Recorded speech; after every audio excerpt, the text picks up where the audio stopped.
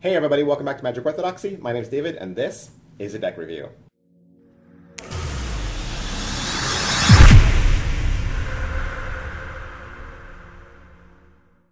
Hey, today we're looking at the Anglo ESP deck, the black deck from El Duco. Uh, what is this? You know, I guess I could say this is a, a deck review. It's also a magic review. It's a magic deck of cards. So I don't really know which category it falls in. You don't really get a magic trick with this, but you can do magic tricks with this. So deck review, magic review, you decide. All right, so what is this deck? Uh, this is a deck of ESP cards, okay, sometimes called Zener cards, uh, sometimes called Rhine cards, all right, but it has the five symbols, the waving lines, the star, the square, the circle, and the cross. All right, so this ESP deck with the Anglo black back design was printed by Ofasen of Sweden. The cards are the same high quality cards, maybe if you've uh, previously held the Anglo Poker Edition uh, number 9. So this ESP deck contains 25 symbol cards, uh, and like I said, they were originally designed by Dr. Joseph Rhine back in 1927. He designed these to test the extrasensory perception at Duke University.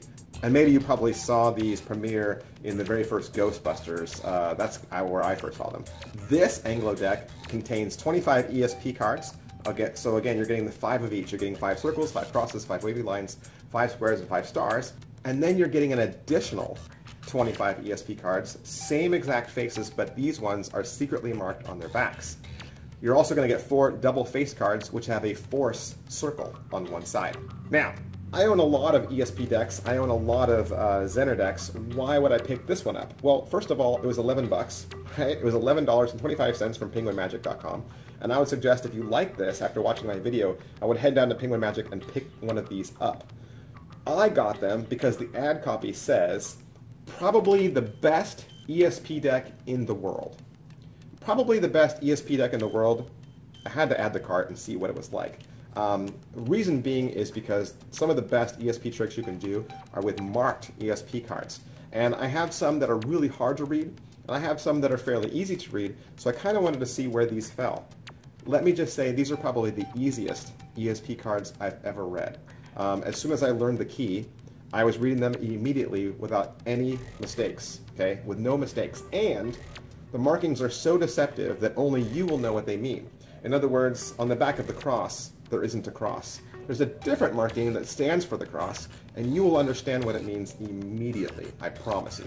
Now, about the quality of the cards, they're not the greatest quality, okay? They don't glide beautifully, they don't shuffle beautifully, but that's not really why you get ESP cards. Uh, you don't get them for their handling, okay? You're not doing magic tricks with double lifts and spreads and you know, flourishes, you're getting them for uh, the ESP tricks. And so it's nice to have the marked and the unmarked versions uh, if you don't want to get caught uh, or if, you know, if you're not using uh, a specific trick that uses marking systems, it's nice to have the unmarked.